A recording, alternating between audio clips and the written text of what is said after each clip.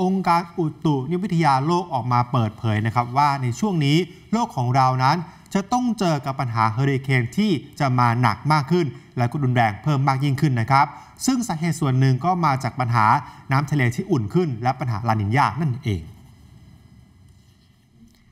องค์การอุตุนิยมวิทยาโลกหรือว่า WMO ซึ่งเป็นหน่วยงานตรวจสอบในเรื่องของอากาศขององค์การสหประชาชาติออกมาเปิดเผยครับว่า ฤดูพายุเฮอริเคนในปีนี้นั้น จะมาหนักแล้วก็รุนแรงมากยิ่งขึ้นนะครับจำเป็นต้องมีการเตือนภัยล่วงหน้า เพื่อที่จะช่วยเหลือชีวิตของประชาชนที่อาจจะเดือดร้อนได้ ทางด้านของแคลร์นูลลิสโฆษกของ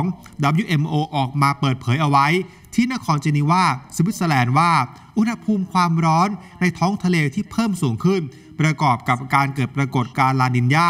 ตามที่มีการคาดการณ์กันเอาไว้ จะส่งผลนะครับให้กลายเป็นปัจจัยสำคัญที่จะกระตุ้นให้ฤดูการฤดูเคนปีนี้ จะมีความรุนแรงมากยิ่งขึ้นนะครับ โดยก่อนหน้านี้องค์การบริหารมหาสมุทรและบรรยากาศแห่งชาติของสหรัฐ หรือว่าโนอาได้พยากรณ์ว่าจะเกิดพายุระหว่าง 17-25 ลูก ซึ่งในจำนวนนี้ก็คาดแหละครับว่าจะกลายเป็นพายุเฮอริเคนจำนวน 8-13 ลูกนะครับ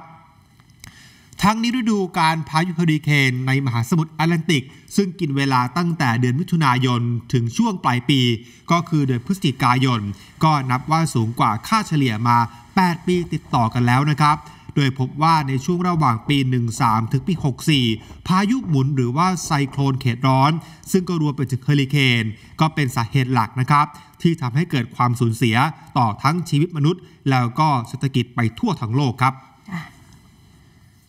ขอบคุณสำหรับการติดตาม TNN News ข่าวเช้า อย่าลืมกด subscribe กดกระดิ่งเตือน กดไลค์ กดแชร์ ผ่านทุกช่องทางออนไลน์ TNN ช่อง 16 จะได้ไม่พลาดการรับชมข่าวสารและคลิปวิดีโอที่น่าสนใจอีกมากมายครับ